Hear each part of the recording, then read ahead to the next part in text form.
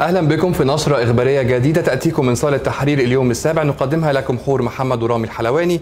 هنبدأها من عناوين الأخبار وفيها الرئيس السيسي يتوقف بسيارته خلال جولة للاطمئنان على مواطن أصيب في حادث. ووزارة الرياضة تعلن موعد استئناف النشاط الكروي. النيابة العامة تأمر بضبط وإحضار عمر كمال مطرب المهرجانات. وإلى تفاصيل الأخبار. نتجه.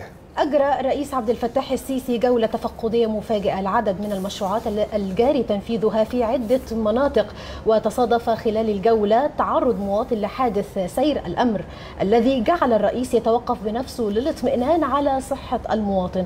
ووجه الرئيس السيسي بإحضار طبيب لمتابعة حالة الشاب المصاب والاطمئنان عليه. وإلى بيان وزارة الصحة نتجه حيث سجلت اليوم 1691 حالة إصابة جديدة بفيروس كورونا. كما وصل عدد الوفيات إلى 97 حالة وفاة. وخرج من مستشفيات العزل والحجر الصحي 398 حالة ليرتفع إجمالي عدد المتعافين إلى 12329 متعافي. وبذلك يرتفع إجمالي أعداد المصابين حتى اليوم إلى 46289 حالة وإجمالي عدد الوفيات إلى 1672 حالة وفاة.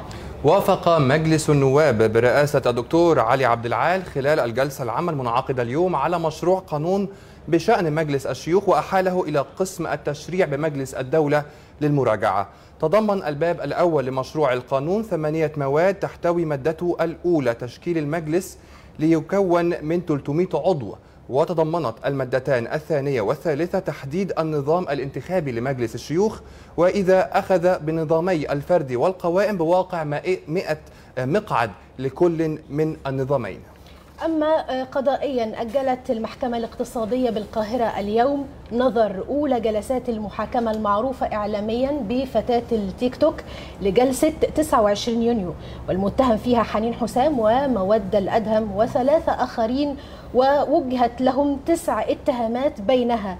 الاعتداء على قيم ومبادئ الأسرة المصرية والمجتمع والاشتراك مع آخرين في استدراج الفتيات واستغلالهم عبر البث المباشر وارتكاب جريمة الإتجار بالبشر و وتلقي تحويلات بنكية مقابل نشر فيديوهات تحريض على الفسق. وهنا يبقى رامي بنشوف إنه بعض مستخدمين ال social media بينسوا أو بيتناسوا إنها سلاح ذو حدين. يعني بمنتهى البساطة لا تخافوا من المعاملة مع ال social media ولكن في نفس الوقت احذروا. في سياق قضائي آخر نتجه حيث أمر المستشار وليد جمال المحامي العام الأول للنيابات الإسماعيلية بضبط وإحضار المطربين عمر كمال وشحتة كاريكا وكزبرة وحنجرة. لمشاركتهم في حفل خطوبة في الإسماعيلية ومخالفة قرار رئيس مجلس الوزراء بمنع التجمعات وإقامة الحفلات للمثول أمام النيابة العامة للتحقيق معهم. وكشفت التحقيقات أن المتهمين شاركوا في حفل خطوبة بأداء فقرات فنية بالإسماعيلية الأسبوع قبل الماضي. واقتصاديا شهدت أسعار الذهب تراجعا للمرة الثانية اليوم مع بداية فتح سوق الصاغة هذا الأسبوع.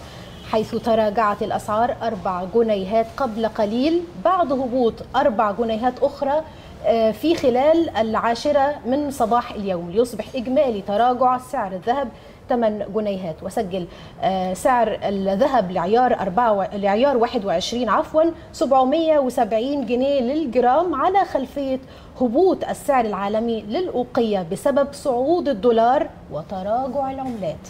وعالميا تخطت حصيلة الإصابات بفيروس كورونا المستجد في الولايات المتحدة الأمريكية حاجز ال 2 مليون و170 ألف حالة كما تم تسجيل أكثر من 117 ألف حالة وفاة وذلك وفق أحدث إحصاء عالمي. فيما تخطت حصيلة الإصابات بفيروس كورونا المستجد كوفيد 19 في مختلف دول العالم حاجز 8 مليون حالة فيما تم تسجيل أكثر من 436 ألف حالة وفاة وتقترب حالات الشفاء من 4.2 مليون حالة وذلك أيضا وفق هذا الإحصاء. أما رياضيا أعلنت وزارة الشباب والرياضة عن عودة النشاط الرياضي خلال الفترة المقبلة بعد فترة توقف طويلة من بسبب تفشي فيروس كورونا وذلك باستكمال المسابقات الرسمية الخاصة بكرة القدم.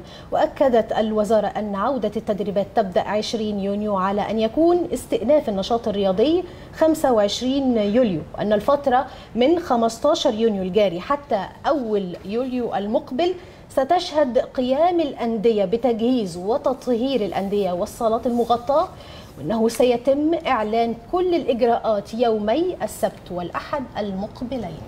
ونختتم نشرتنا معكم متابعين اليوم السابع بأخبار الطقس حيث تتوقع هيئة الأرصاد الجوية أن يشهد غدا الثلاثاء ارتفاع في درجات الحرارة حيث يسود طقس مائل للحرارة على القاهرة والوجه البحري وشبورة خفيفة صباحا ورياح معتدلة تنشط أحيانا فيما تشهد السواحل الشمالية الغربية طقس حار معتدل على السواحل الشمالية الشرقية والرياح معتدلة. وليلا تتوقع هيئة الأرصاد الجوية أن يسود طقس لطيف على القاهرة والوجه البحري وطقس لطيف بالسواحل الشمالية وطقس معتدل على شمال وجنوب الصعيد. وإلى هنا تنتهي نشرتنا الإخبارية. قدمناها لحضراتكم زميلي رامي الحلواني وأنا حور محمد. وعد هذه النشرة الزميل محمود نصر. شكرا لحضراتكم على طيب المتابعة. إلى اللقاء. إلى اللقاء.